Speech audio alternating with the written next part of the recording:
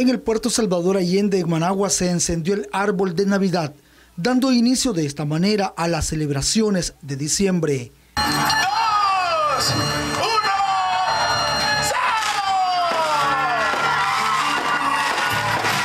Estamos celebrando eh, eh, con mucha alegría, ya viendo los momentos de la Navidad, los momentos de la Purísima.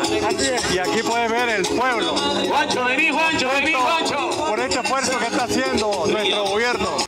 Además hubo fuego de luces pirotécnicas y los asistentes muy alegres festejaban el inicio de un mes de alegría. Eh, aquí andamos este, dando una vuelta, celebrando, adelantando la Navidad. El recorrido. Viendo todo el recorrido, todo, todo bien bonito. Ya se siente el ambiente, ¿verdad? Ya se siente el ambiente de la Navidad aquí, en Nicaragua. ¿De dónde viene?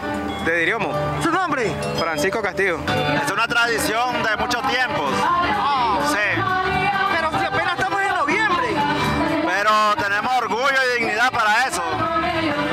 Siempre, siempre hacemos, así hemos sido, esa es nuestra naturaleza. En Managua son muchas las actividades que se realizan en el mes de diciembre. Antenor Peñasolano, Crónica TN8.